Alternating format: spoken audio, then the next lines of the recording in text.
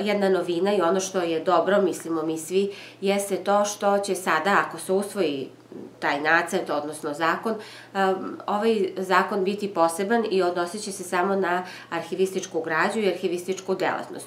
Juče je u Istorijskom arhivu u Nišu u prisustvu pomoćnice ministra kulture gospođe Danijele Vanušić i uh, tog radnog tima koji je pravio nacrt, među kojima sam rekla da su arhivistički stručnjaci i pravnici, uh, održan taj sastanak.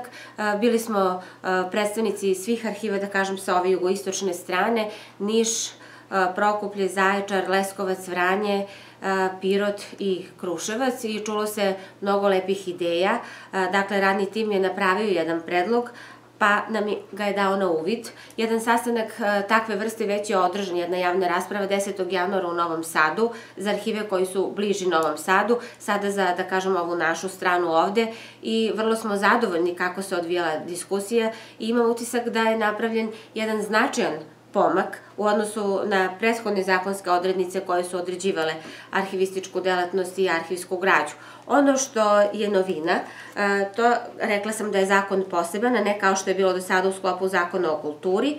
E, takođe, e, arhivska delatnost, to je vrlo važno da se kaže, znači šta je predmet arhivističke delatnosti, kako se to radi, šta se radi, svaka delatnost, svaka aktivnost biće određena zakonom, promenit će se, ako se naravno usvoji taj zakon, osnivač arhiva i takođe zakon će odrediti da Arhiv Srbije bude matični arhiv. To do sada nije zaživelo u praksi, nije bilo tako u praksi svih ovih godina.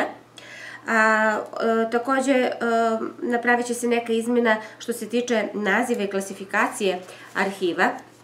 Arhivi će se deliti na javne, specijalne i privatne i u tom smislu javni arhivi e, bili bi Državni arhiv Srbije i on je krovni arhiv, zatim arhiv Jugoslavije, pokrajinski arhivi, međuopštinski arhivi u koje spada istorijski arhiv u Pirotu i arhiv jedinica lokalne samouprave. Dakle, mi bismo bili javni arhiv, ne bismo više bili istorijski arhiv, nego javni arhiv. Specijalni arhivi e, su e, odgovorni uh, svojim poslom Državnom arhivu Srbije, ali se oni osnivaju i posebnim zakonima uz prethodno pribavljeno mišljenje Državnog arhiva Srbije. Da vam kažem, specijalni arhiv bi bio recimo arhiv Srpske pravoslavne crkve, ne, pardon, uh, specijalni arhiv bi bio arhiv Jugoslovenske kinoteke, a privatni arhivi, uh, primer za privatni arhiv jeste eto, arhiv Srpske pravoslavne crkve.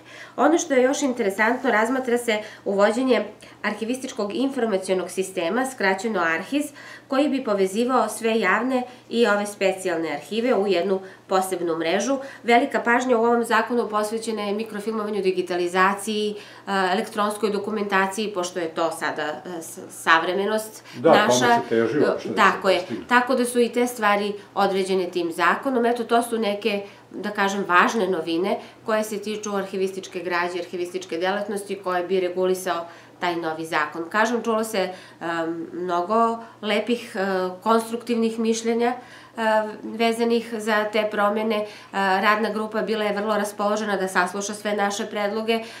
Imamo i odgovarajući obrazac kojim ćemo sve to i pismenim putem, putem uputiti Ministarstvo kulture i informisanja. Mogu da kažem da je Ministarstvo kulture i informisanja vrlo raspoloženo da izađe u susreti arhivistici i arhivistima uopšte, da se taj problem koji već godinama je na nekako gorući problem reši da bismo mogli organizovanije da obavljamo svoj posao.